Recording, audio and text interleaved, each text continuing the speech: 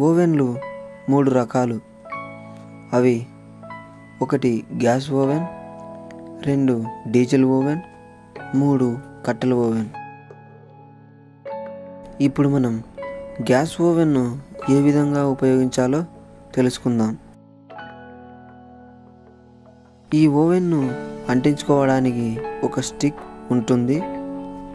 దాని సహాయంతో పైన మరియు క్రింద ఈ విధంగా స్టవ్లను అంటించుకోవాలి.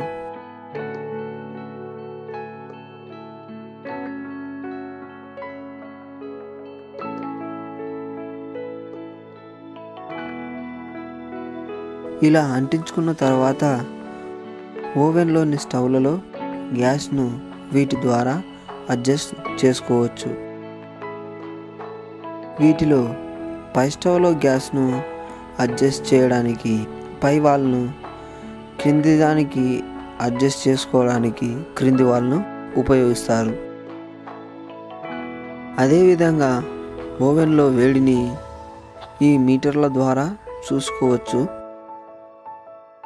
వీటి సాయంతో ఓవెన్లోని వేడిని మనకు కావలసినంత పెట్టుకోవచ్చు. ఈ ఓవెన్లో పన్నెండు ప్లేట్లు పెట్టుకోవచ్చు.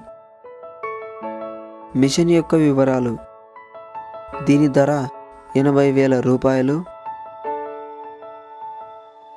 ఇది బెంగళూరులో దొరుకుతుంది.